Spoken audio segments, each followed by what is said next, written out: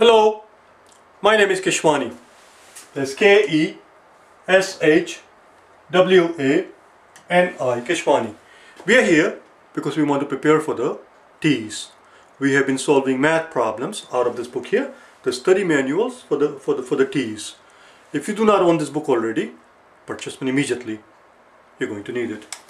The problems that we're about to solve are the ones that you will find on page number 100. Please turn to it, page number 100, and today is our lesson number 48. Let's see what we have there. On page 100, we have some algebra problems. The very first one says, simplify the expression. 2.52, 52, it says, simplify the expression. And here's the expression here, 8x squared minus 7x plus 3 plus 3x squared minus 2x minus 1 minus 1 well first thing first we have to first open the parentheses. So let's, let's do that here. I just want to make sure that I copied it correctly. 8x squared minus 7x plus 3x uh, plus 3 and then 3x squared minus 2x minus 1 let's do it then. Open the parentheses. Here happens to be a plus sign so we don't have to worry about it. When we just open the parentheses nothing is going to happen to these signs had it been a minus sign, then we would have to switch all these signs here because we would have to multiply every one of them with a negative. Since we are multiplying by positive, 3x of course also has a positive sign in front of it, so it's not nothing is going to change here. So here we have 8x squared minus 7x plus 3, and then positive times positive is going to remain positive, so it's positive 3x squared, and positive times negative is still negative, negative 2x, and positive times negative is negative, and now what we have to do is what is known as adding and subtracting like terms. This is where if you need some extra help, if you want to improve your skill in algebra, if you're not very good at it, on my channels you will find about 200 videos dealing with different concepts of algebra. Here's the course schedule on the blackboard. If you're interested, on day number 1 through 20 we learn how to evaluate algebraic expressions. On day number 21 through 50 we learn how to add and subtract like terms, which is what we're doing here. Now we have to add and subtract like terms. So let's do that. So here we see x squared, here we see x squared, since those are called like terms. And 8 plus 3 is 11, so we have 11 x squared. Now we have x and we have to x, so we have to pick up those. x and x, negative 7 and a negative 2 is going to give us negative 9x. And finally, we have a positive 3 and a negative 1. A positive 3 and a negative 1 is going to give us positive 2. That's it, that's our answer and that is called adding and subtracting like terms. Let's do one more. The one underneath it, which one has a that one has a negative sign underneath it. It is. Oh, but you know it's the exact same problem. They just switched the sign to negative.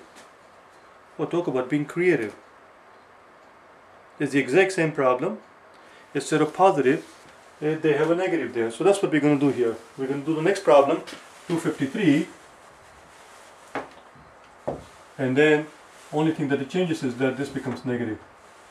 And instead of changing everything one by one, now we're going to redo it. Just give me one second here.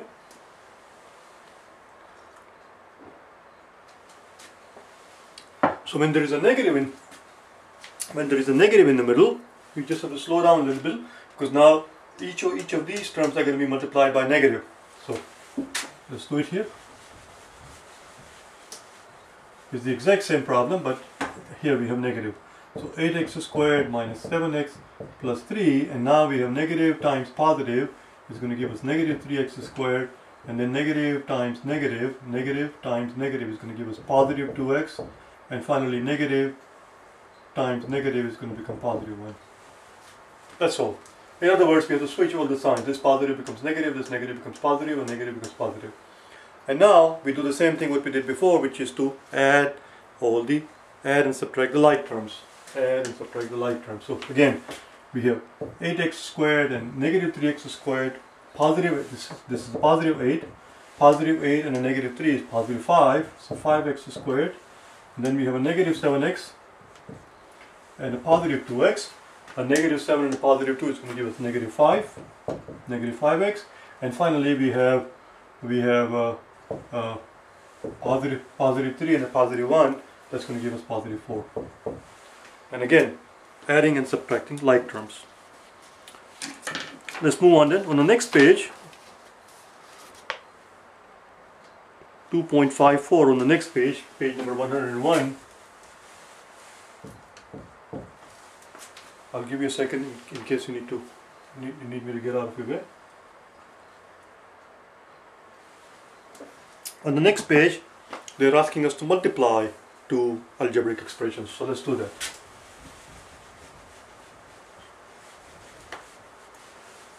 Two point five four.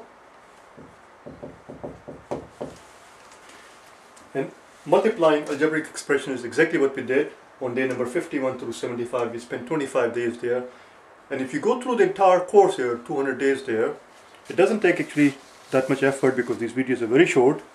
And even if you were to do one video per day, I'm not talking about preparing for TEAS. This is not for TEAS. In the TEAS, you don't require, you don't need that much algebra there. But I'm talking about in case you're interested in improving your algebraic skill, in case you are interested in learning skill, in case you're interested in having a sound foundation in algebra.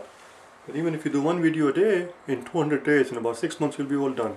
And by the end of the 200 days, assuming that you will do all the work, your fear of algebra will be gone forever.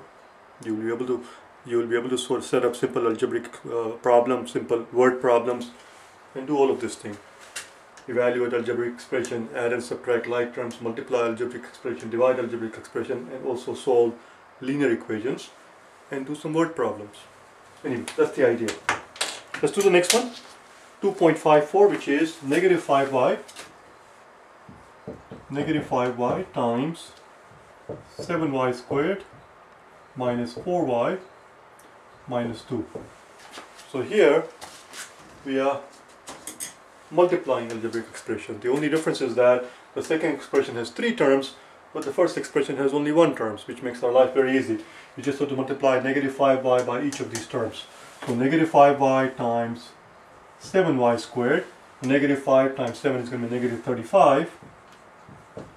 y times y squared is y cubed. Then we do the next thing. Negative 5y times negative 4y. Again, negative times negative is going to give us positive.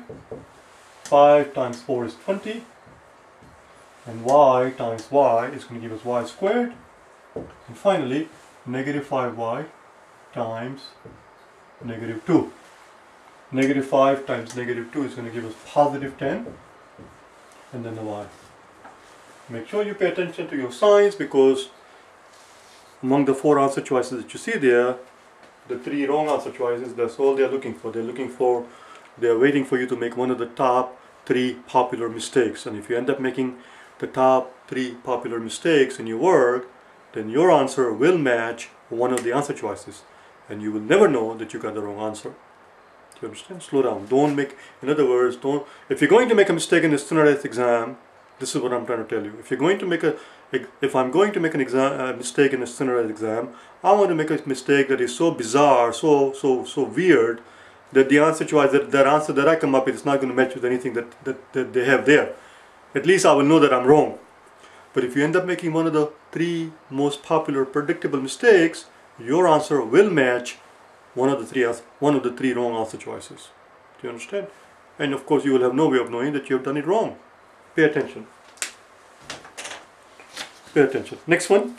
Well, next one is the same exact idea except now they give you two expressions and each of them has two terms. Here, here we had a situations where the second expression has three terms and the first expression only had one term. So now we're going to do 2 and 2. 2.55 just leave this here 2.55 so we have 3x minus 1 3x minus 1 and 2x plus 5 okay here we go so we multiply 3x by 2x now here I should pause actually and make a remark here that uh, I know that in the American school they teach something called FOIL uh, that's not that's not what we're going to do here. Just just follow the procedure. Okay. Look, you take your first term of the first exp first expression and you multiply it by the other expression. So 3x times 2x, 3 times 2 is 6, and x times x is x squared. That, you're done with that part. Now we take the 3x and multiply it by the second term. Uh, So 3 times 5 is 15 and this is plus and this is plus. So plus times plus is plus 15 and x. You're done with that part. Now we take the negative 1 and multiply negative 1 by positive 2x. So negative 1 times positive 2, this is a positive 2. Negative 1 times positive 2 is positive uh, is negative 2 times x. And finally, we have negative 1, multiply that negative 1 by positive 5. And negative 1 times positive 5 is going to give us negative 5. That's it, we're done. All we have to do at this point is to add up all the like terms. The only two like terms here are these two x's here, 15x and a 2x. So 6x squared, positive 15 and a negative 2, negative 2, positive 15 and negative 2 is going to give us positive 13. Positive 13x and then this 5 by itself. Very good, that's your answer. 6x squared plus 13x minus 5. And that had to do with multiplying algebraic expression. The third concept that they expect you to know in the exam is how to divide algebraic expressions. So these are the things that they expect you to know, which is why they are covered in the course here. Uh, how to evaluate algebraic expressions, how to add and subtract like terms, how to multiply algebraic expressions, how to divide algebraic expression is the next problem we're going to do, which is the very, very last problem that you see on the bottom of the page. We'll get out of the way again in case you need to look at it properly.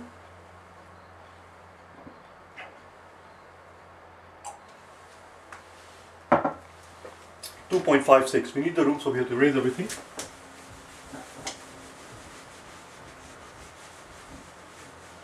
Two point five six, which deals with dividing algebraic expressions. So here we here we go. Again, we are asked to simplify the expression. The expression that they're giving us is 24 x squared y plus 14xy minus 8xy squared and we are asked to divide this thing divided by negative 4xy. This is what we are told. This is what we are told to do and it's actually very simple, very straightforward. What we do is divide and conquer. Divide and conquer. Do what the British used to do, what they did to India, where I come from divide and conquer. Do you understand? One term at a time. Do you follow? The part of the world that used to be called India is where I come from. Do you understand? So let's do that. So we had negative 4xy. So each or each or each, so we'll take each one of these terms and divide them individually by negative 4xy. Negative 4xy, negative 4xy, negative 4xy. And we'll do them separately. So first one we have is 24x squared y over negative 4xy. This is a positive, positive 24. Positive times negative, sorry, positive divided by negative is going to give us negative, and 24 divided by 6. If you reduce top and bottom by 4, you will get 6. If you divide x squared by x, x squared divided by x is same as x times x over x and x is going to cancel out and we're left with just x. And here y divided by y, y is going to cancel out, that's it, that's all we are left. So we're done with the first part. This is the first term. Let's move on to the second term. Second term we have 14xy, which is a positive 14, divided by negative 4xy. Again, positive divided by negative is going to give us negative. And we have 14 divided by 4. If we divide top and bottom by 2, if we divide top and bottom by 2, 14 becomes 7 and 4 is going to become 2, uh, 2 and that's all we can do. We cannot divide any further. So it's 7 over 2 and what do we have here? Well, we have nothing because x is going to cancel out this x and this y is going to cancel out that y. That's it. That's the second term. And finally, we have, this is a tricky one, make sure that you pay attention, this is negative 8y, negative 8xy squared over negative 4xy.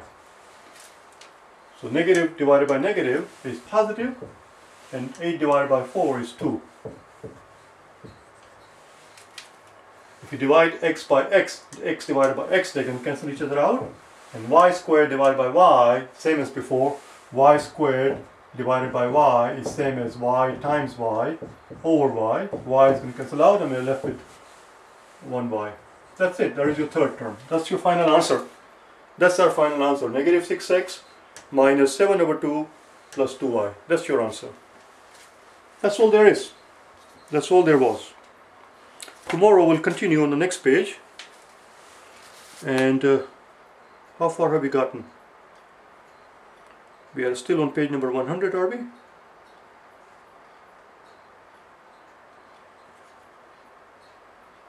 Just give me one second. No, we finished page 101.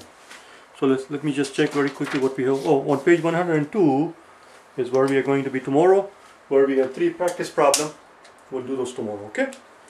But that's the idea. They want they expect you to understand not not not very complicated stuff, but it, the simple stuff that you can, that you encounter in these three areas, in these four or five areas actually, not three areas. They, they expect you to know how to evaluate algebraic expressions.